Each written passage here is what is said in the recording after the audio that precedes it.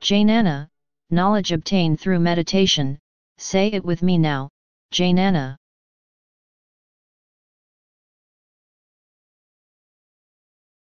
Please subscribe and thanks for watching.